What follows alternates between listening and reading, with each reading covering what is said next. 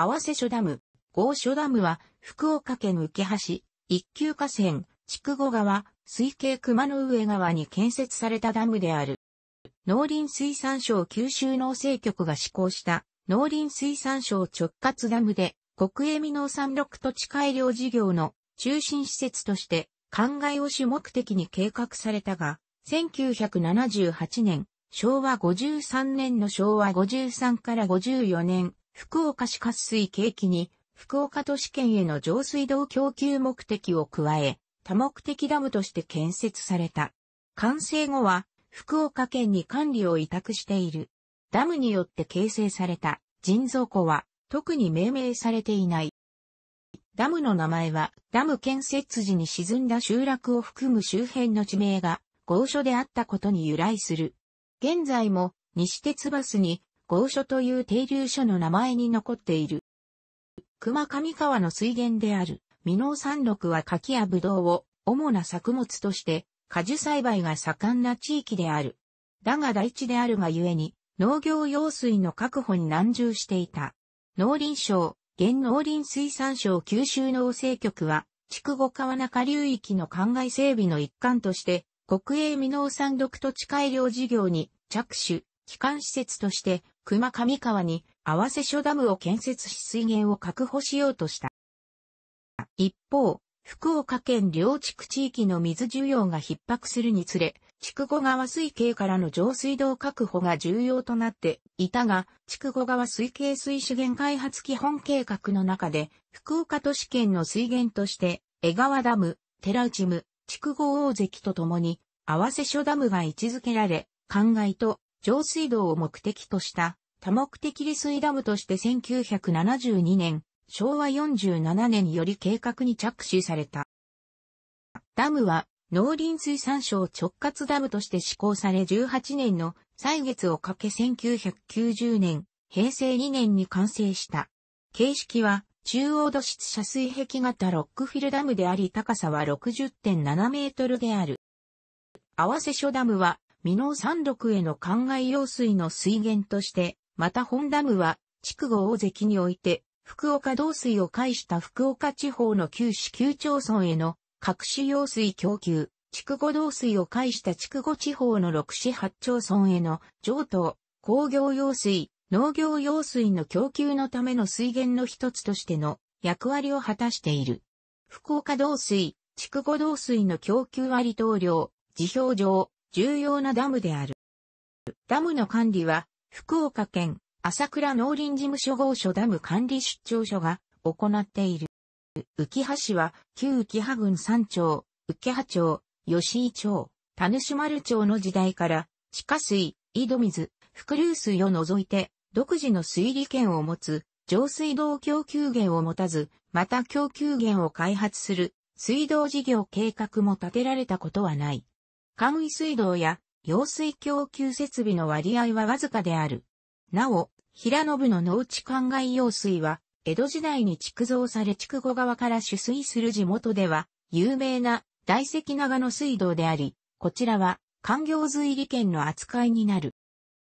合わせ所ダムは、浮橋内に建設されているが、建設費用のうち、上水道水利分にかかる建設負担金は、福岡地区水道企業団、福岡県南広域水道企業団が負担している。さらに、江川ダム、寺内ダムについては、この2ダムから本来は福岡地区水道企業団を通して旧浮羽郡山町に供給するべき水源の割当配分が存在するが、旧浮羽郡山町は2ダムに対する建設負担金を支払っておらず、福岡地区水道企業団、福岡県南広域水道企業団が2ダムの建設費用を負担している。以上の事情から、竣工当時からこれら3ダム分における山頂分の水利権は行使されず、悠久している状態であったため、当時の福岡県知事の亀井光の仲介で、旧浮羽郡山頂と両水道企業団との間で、昭和50年7月5日に、覚書、確認書が取り交わされ、本来は、合所ダム、江川ダム、寺内ダムから旧浮羽郡山頂に供給するべき水利権の配分を期限付きで、両水道企業団が旧浮羽郡山頂より借用する形となった。当該、期限は、合わせ所、江川、寺内の三ダムの外の直水源が開発され、または10年を経過した時点とされていた。その後の水源開発により、直水源が確保されたため、前期、借用分の水利権利用分を浄水として、旧キハ郡山頂に返還することが物理的に可能になった。実際には、合わせ所、江川、寺内の三ダムからの借用分の水量を合わせ所ダムから旧キハ郡山頂に供給することにより、都合することが前述の覚書に記載されている。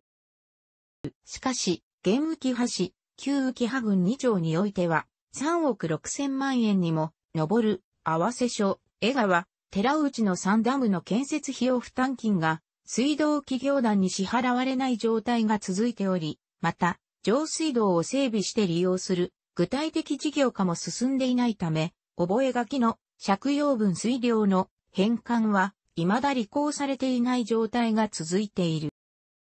結果として、浮橋は、市内にある、合わせ所ダムからの水利権分に見合った取水を利用する有効な手段がない状態が継続している。なお、旧浮波郡山町のうち旧田主丸町については、久留米市と合併して、福岡県南広域水道企業団に参加し、上水道整備を推進。なお、合併以前から簡易水道設備があるしており、上記の問題は解消されているものとみられる。浮橋にて、小石原川ダムの開発により、磁気水道事業の水利権を取得する動きが出た際に、この福岡地区水道企業団、福岡県南広域水道企業団と、旧浮波郡山町との覚書の存在がのぼしてきた。この問題は、浮橋の議会で取り上げられ、一部の市民団体によりアピールがなされている。また、2009年以降の民主党政権下のダム事業見直しブームにより、小石原川ダムの事業の先行きと合わせて、浮橋内での水利問題が取り沙汰された。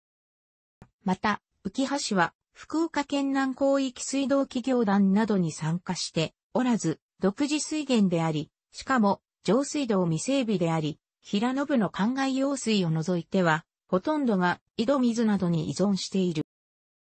同水道企業団に参加し、上水道の供給を受けた場合、水利権問題や次に述べるダム設置交付金の問題は、3回以降の将来分については解消されるものの、合わせ所ダム、江川ダム、寺内ダムの建設負担金支払いや、導水管の整備、市内の水道管整備などに多額の資金が必要となる。そもそも市民にとっては、水道料金の支払いが増えるため抵抗がある。また筑後導水、田主丸導水管からポンプアップして市に戻すことになるため、エネルギーや設備の無駄遣いであるという主張もある。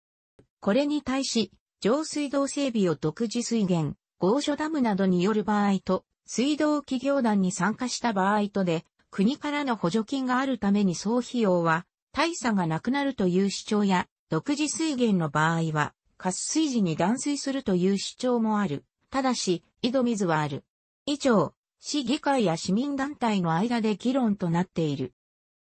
一方で、合わせ所ダムが、浮橋浮羽町に所在することから、受益自治体等である、福岡地区水道企業団と、福岡県南広域水道企業団は、立地自治体、市町村である浮橋に、合わせ所ダムの設置交付金、国有資産等所在市町村交付金を支払う必要があるが、これをダム竣工後の約25年間、当時に渡り浮橋が受領していなかったことが2014年2月4日に判明した。未払いの交付金は両企業団の合計で約8億円ほどに上る。